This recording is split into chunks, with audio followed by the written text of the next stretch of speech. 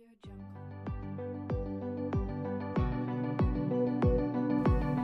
and welcome back to web development course. I'm going to continue the HTML section and this lecture, the lecture number 10, you're going to look at the HTML, CSS and styles. So let's get started. CSS can be added to HTML elements in three ways. One, in the line or create in line by using the style attribute in HTML. We have already used this style attribute if you've been following. The second way how you can add CSS in HTML is through the internal by using the style element in the head section. We shall also look at this. And the third way how you can use HTML, I mean CSS in HTML is by using the external CSS file. We shall also look at this. Then, CSS can identify HTML elements in only three ways. One, by HTML name, uh, by HTML element name.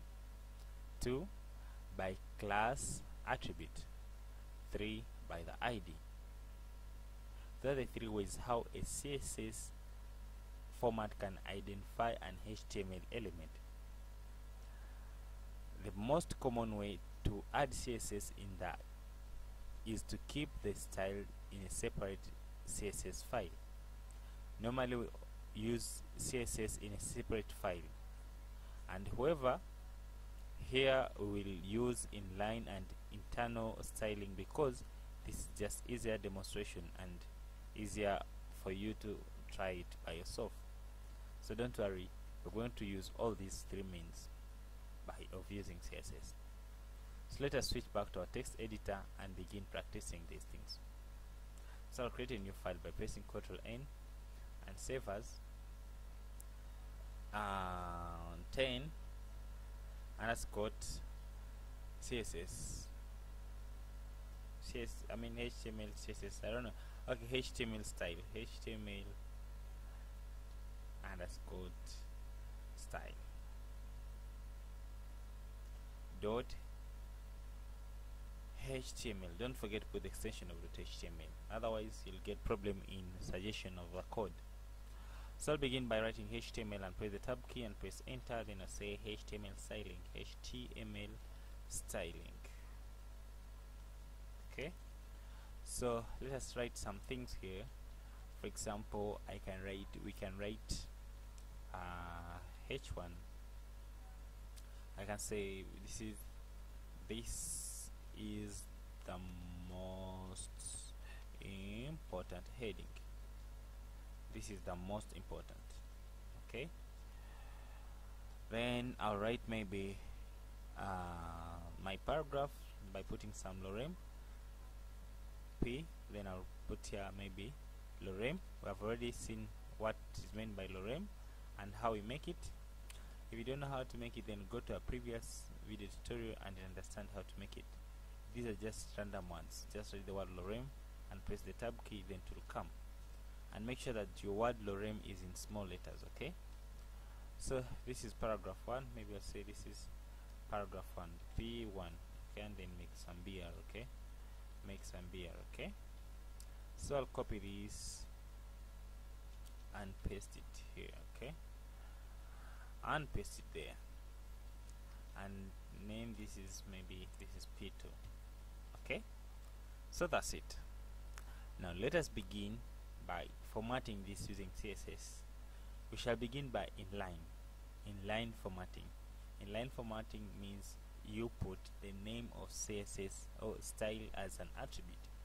So I'll put here maybe style. And press the tab key. Then I can start formatting. Maybe this I want it to be red color. Today just like red or purple color let us make it purple. So I'll put the color attribute and make it purple. And when I do like this it is the text that's going to look purple. Okay? Then I'll make this everything in this. I'll put style.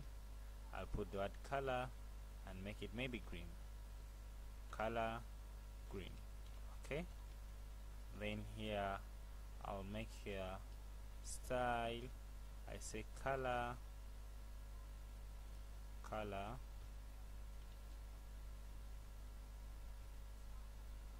Yellow okay? Yellow. And maybe put the background color background color background color.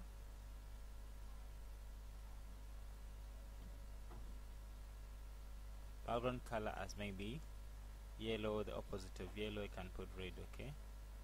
So the text will be yellow and the color will be red. So we right click here and say open in browser. And this is what we expected of course. The most important heading is purple. Paragraph 1 is red. And you can see just is how we expected things to be. So that is how we can format HTML you can see now CSS is adding design and that is what we call inline formatting. Inline formatting. That is what we call inline formatting. I will comment this maybe so that you can practice it when you have it by just pressing Ctrl Shift and the forward slash then it will comment everything Ctrl Shift and the forward slash. Okay? So let us proceed. Let us proceed. I'll copy the same things and now try to use another way of formatting using CSS okay? I'll copy the same thing. I'll just put them here. Now this time we are not going to use inline formatting. This is so tiresome. Just cut this. Let us cut this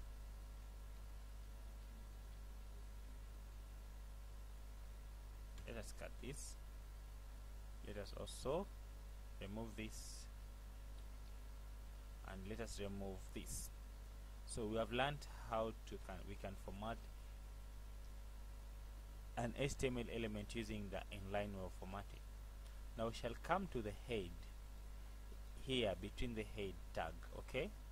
And put an element called style. Then press the tab key this is how to look like. You open style and close the style. So we are going to define these things using the style. For example we say that one way how a style how css can identify a certain element is by use of by use of element element name. For example if we want all the h1 tags to be red what we'll do we shall just write h1 then open curly bracket and press enter. So between this curly bracket every condition that you write here will catch every h1 that is inside this document and make it satisfy that condition. For example you can say each h1 should be color of red.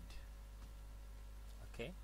Then if you come and refresh you'll see that h1 has got the color of red if you have another h1 here maybe h1 maybe I put this one as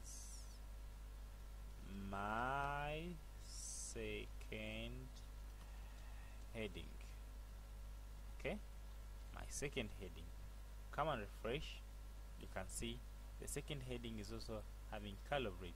So whatever h1 that you have here it will always obey the rule of this tag otherwise if we change this one maybe to h2 change to h2 change to h2 it will be a different one. It will not obey this rule anymore. Why? Because it's not h1 so you understand now what is meant by formatting uh, okay identifying by element. That's what we call identifying by the element name. Now another way is to say that you can identify by use of class. By use of class. So how do you do class? There this is the how you do class. To do a class you put a dot and put the class name. Maybe I'll say uh, green class. Green. Okay G. I'll G will be represent the green class I'll put a color and say color should be green and maybe background color should be uh, blue.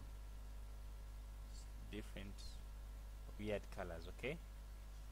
And this is maybe I'll let me call it colored CO colored things okay? CO colored okay? So this is a class this is identifying by the name of the tags. This is identifying by class tag class name. So if you put dot dot means a class. So if we run this code at this time nothing will happen. Why? We have not given this class to any element. Now if we want this paragraph to obey these laws we give it a class of C of this class that we have defined here. So we shall have to say class and give it C okay? So if you come and refresh you can see this paragraph has obeyed this law. So many elements can obey the same law. Even if we want to use this class multiple times we can still come and put it here maybe here okay? Put here and put br maybe okay come and refresh you'll see also the heading has obeyed the law. So that will save us so much. Why? Because we shall be making only one class and we can use it for as many elements as possible. You can use it even for a million elements. So that's how we can identify an element by a class. And to write a class you put a dot. If you remove this dot then it will mean an element. It will mean something else. And the refresh will not work so you must first put a dot. A dot represents class. So you understand now. Then lastly we said a third way and the last way how an a, a css can identify an element in a document is by the use of the id so this is how the id works. You first define the id use hash to define an id then put the curl brackets. And don't forget to put the name of the id so maybe we can put this one as um, how should we do it? Maybe uh, I don't know. I should put H okay? And then this H will have its own unique colors. Maybe I'll say color color white background background uh, black. Okay? Then I'll come and get this. Remember this is an ID and there must be only one element in the whole document which has only one ID not more than one element can have the same ID so maybe this my h1 I want to give it this ID if I if I remove this comment okay I remove this tag okay? If I come and refresh. H1 has no any effect. So if I want to format it using the ID I'll have and put here the word name ID and remember that it's only then I give it H okay? H. Remember this H. Is the one that's going to catch this one. Remember only one element in the whole document must have an ID not more than one element but if you want to format more than one element then you use a what? Use a class. Then I come and refresh. You can see this has caught up our first element which has the ID of H. And only one and one element should be in a whole document with one ID don't use another element with the same ID for example if I come and say this paragraph is also having the same ID of H that is a bad practice even though it may work but it's not recommended and don't use it. So that's it. So lastly I'll put this in the next lecture we shall try to put this CSS in the external file and see how we can get the CSS from external file and format the this file that is in a different file of HTML so I hope you not don't you'll not miss when we are using this CSS from external file to format files in this file. But still you can do it now. I'll just cut it. I'll remove this. Okay? I'll come and refresh. Nothing is working. Why? I removed the whole CSS so if we want to include the external file what we shall do we shall create another file control N and save it as you can save it whatever you want whatever name you want. But it must be having an extension of .css so maybe I'll I'll save it as 10 since this is related to lecture 10 I'll save it as my style or I'll save it as style style dot css then click on enter. Then I'll paste the other code that we are having in our previous HTML file. This code is the one exact code that we are having here on top. I've put it in an external file and I've saved it okay? So if we come here and try to refresh nothing is there. Now what is remaining is to connect this style external uh, external CSS to import it and come and format our HTML here. To do that we use the link. You type the word link and press the tab key. Then put the name of this file that you've saved with CSS to come here. Remember we saved our file as 10 underscore style. If you don't put the correct name then it will not work. Then dot css then I'll save and come and refresh can see. Only this link has imported this style to come on our page and it is now working. So it means that we can use this style to do what? To format many pages as how uh, as many as we want. Because it is external and it is not inside our HTML so it means that you can write again another HTML and another HTML and another HTML files while they are using the same style document. So that's how we use external styles to format a certain document of HTML so that will make the end of our today's lecture. So here is a summary of what we've discussed today.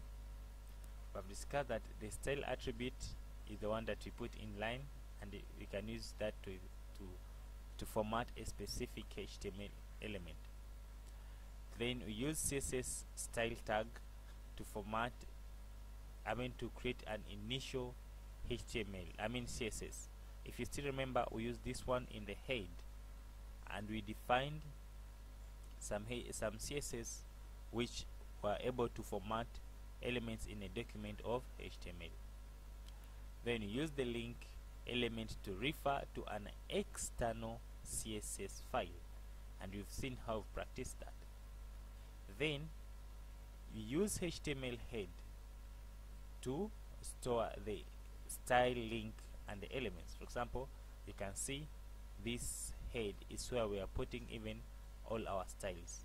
Don't put this link here but you put it inside the head. Okay? So always remember these things. Then also we use the css color property to make the text colored in a certain color that we want we use the font family to tell the font style. And you use the font size for property size. You have already covered this the font size. Then lastly we use the border for the border of a certain element of of of, of HTML so those are the things that we covered today in our today's lecture. I hope please you have been practicing them and did not get any problem. If you did then please put your problem in the comment section and we shall discuss about it. Don't miss in the next lecture where we're going to look at the HTML links. It's going to be interesting when we're going to, to connect different pages of HTML and see how HTML links work. So I hope you'll not miss. And let us meet in the next lecture. And don't forget to subscribe to our YouTube channel. If you found this YouTube uh, if you found this video helpful to you.